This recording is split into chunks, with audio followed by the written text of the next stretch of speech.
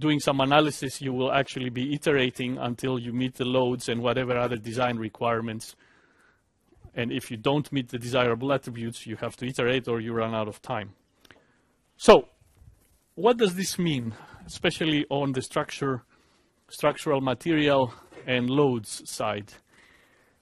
The applied loads that we take for granted, aerodynamic loads or whatever else, are never known extremely accurately, uh, irrespective of how advanced your fluid dynamics, aerodynamics codes might be.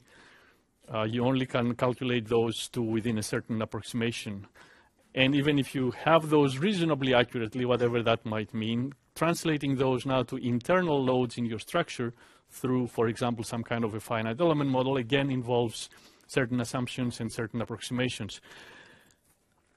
As if this were not enough, a specific maneuver, which basically has an entry point and an exit point. You go into a turn, and then you come out of the turn back to level flight, let's say, will be flown by different pilots, or even if the weather conditions are slightly different, such that you will end up with different loads exerted on the structure.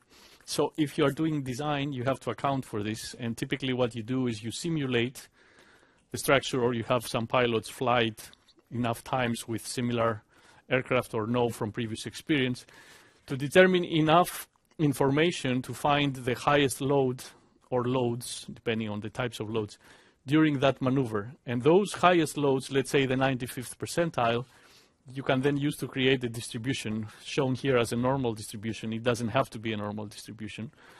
But you take this distribution of the, I'm sorry, these are the highest loads. You take this distribution of the highest loads and the 95th percentile, or something along those lines, could be 90th, could be 99th, depending on the application, becomes your uh, applied load accounting for variability in how that maneuver, a 3G turn, might be flown, for example.